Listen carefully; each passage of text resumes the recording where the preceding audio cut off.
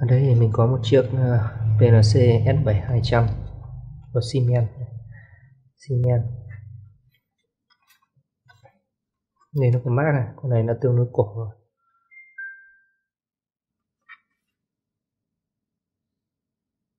Còn mã là CPU 24 14 DI 14 đầu vào 24V 10 đầu ra là Zerlea đây này.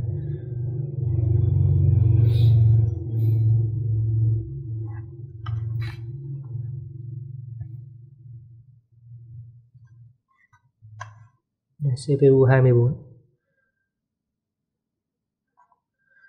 đây là công tắc uh, stop và run của nó này.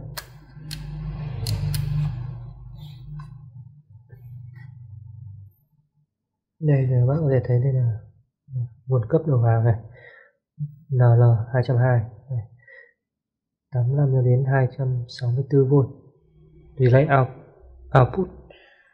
Đây là đầu ra đây là đầu ra còn bên dưới này mới là đầu vào đây là DC 24V input. Đây. Đây, con này có cái cổng để nạp dữ liệu của nó đây. Cổng nạp chương trình của nó đây. Đây là cái khe cắm mở rộng của con PLC này nhé rồi, mình sẽ mở thử ra xem nó như thế nào đây muốn mở con này ra thì nó có các cái lẫy đây. Cả hai bên. Rồi.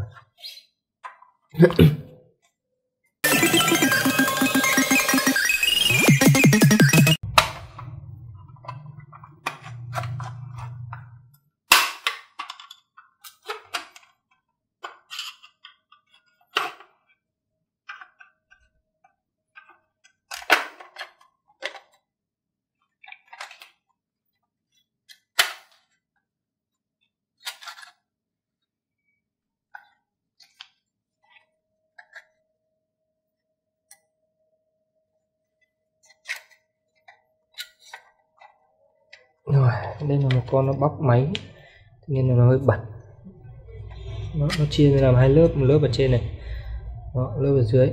Ở đây thì xem chừng là nó gắn cứng rồi Đấy.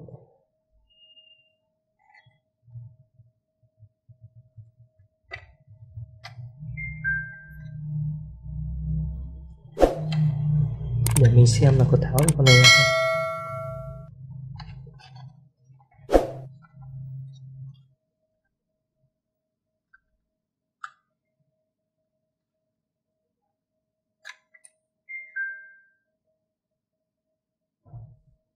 Này, nó chỉ được đặt vào lệnh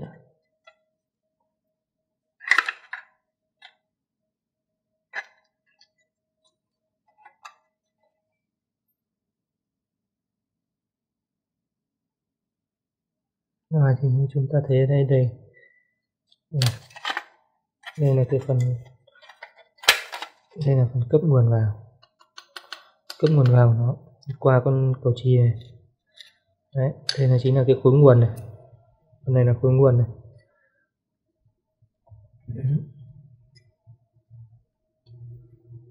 Còn đây là các đầu ra này. Mỗi một con dưa le này là một đầu ra này. Đấy.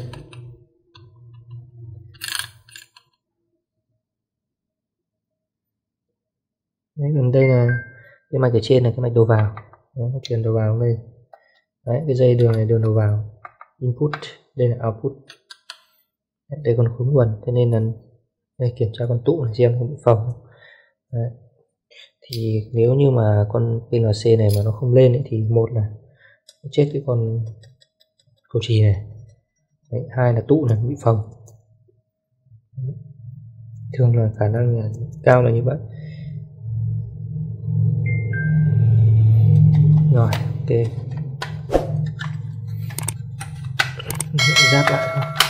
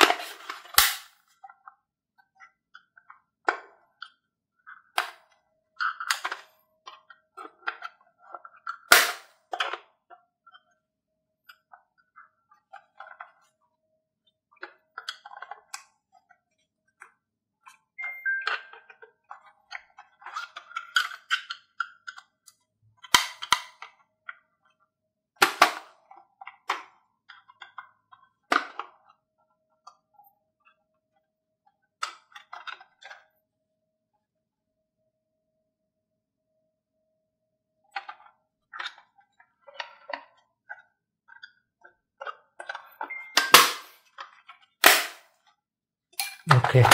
Đấy. với tháo lắp với con uh, Siemens FP200 này rất là dễ.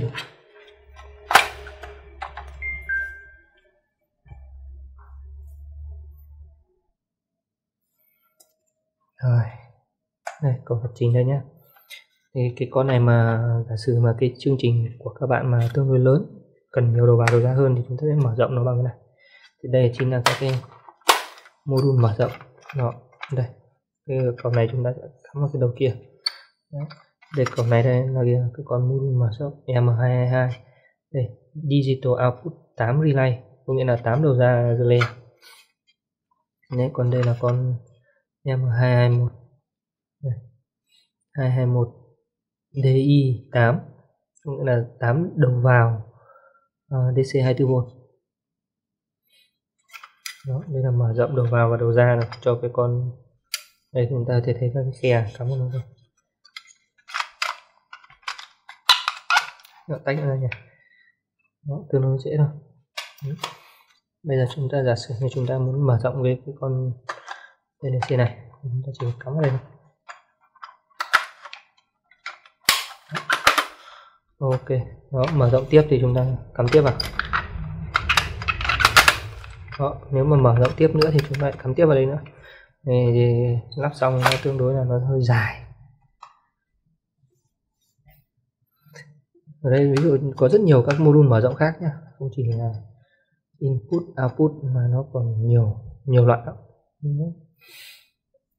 Thì cái con S7200 này thì đến bây giờ thì nó đã ngừng sản xuất rồi. Đấy, nó thay thế cái con S7200 này bằng con S7200 còn S72 1200 này nó tương đối hay hơn con này khá nhiều. Đấy. ví dụ như nó lập trình thông qua internet ethernet đó, nó có thể lập trình nếu mà các bạn có một bộ phát wifi thì các bạn cắm qua cổng mà LAN của con ờ, PLC S7200 là các bạn có thể nạp và tải chương trình qua mạng không dây, wifi luôn. Không như này, phải cắm dây. Thì đây chính là cái cái cáp lập trình của con con S7 1200 này đây. Cáp này đấy. Cáp lập trình nhé. Đấy. đây. Cổng này chúng ta sẽ gắn vào cổng RS232 ở trên máy tính. Đấy, còn cái cổng này chúng ta sẽ cắm vào PNC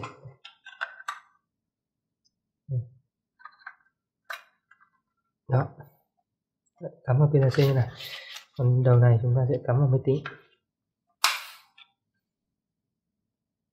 và nếu như các cái máy tính đời mới mà không có cái cổng RS232 thì chúng ta có thể dùng một cái dây cáp chuyển đổi RS232 sang USB Đó. đây nó có các cái nẫy để nó thiết lập.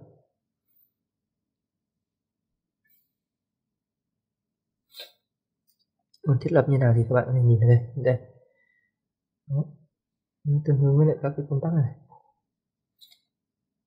Đó, cái này thì tương đối đơn giản Đấy, thì mình giới thiệu qua cho các bạn về cái dòng S7200 các module mở rộng cũng như là cái cáp sạc của nó và cáp à, nạp chương trình của nó.